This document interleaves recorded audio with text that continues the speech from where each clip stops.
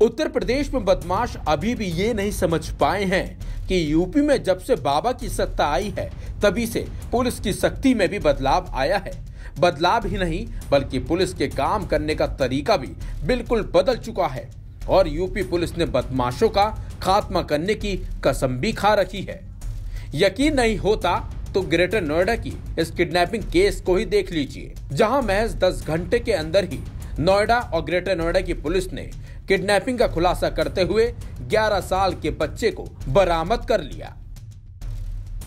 जानकारी के मुताबिक, ग्रेटर नोएडा के इकोटेक इलाके से 11 साल के बच्चे का अपहरण हो गया और अपहरणकर्ताओं ने बच्चे के पिता से 30 लाख रुपए की डिमांड भी कर डाली, जिसकी सूचना बच्चे के पिता ने तुरंत पुलिस को दे दी। बस फिर क्या था? नोएडा। और ग्रेटर नोएडा पुलिस एक्शन में आ गई और टीमों का गठन कर आरोपियों की तलाश शुरू कर दी। इसी बीच पुलिस ने मुखबिर की सूचना पर इकोटेक इलाके में आरोपियों को घेर लिया।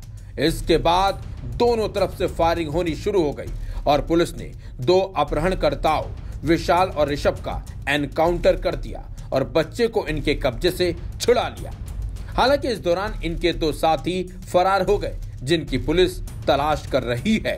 कुछ अज्ञात बदमाश एक बच्चे को लेकर के थाना इकोटेक क्षेत्र में आ रहे हैं और फिरौती की रकम के लिए वो आ सकते हैं और वादी से डिमांड कर सकते हैं। उसी क्रम में पुलिस द्वारा चेकिंग लगाई गई। तड़के सवेरे लगभग साढ़े पाँच छः बजे के आसपास विशाल मौर्य और ऋषभ है, ये जनपद बदायूं के रहने वाले हैं। और इन जो, दो अन्य अपराधी हैं, वो मौके से फरार हैं, जिनका नाम विशाल पाल और शिवम है।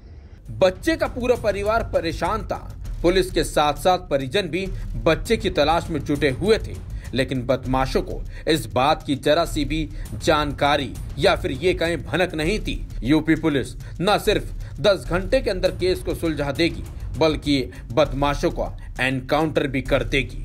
V K news, Uttar Pradesh, Uttarakhand. V K news राष्ट्र के नाम।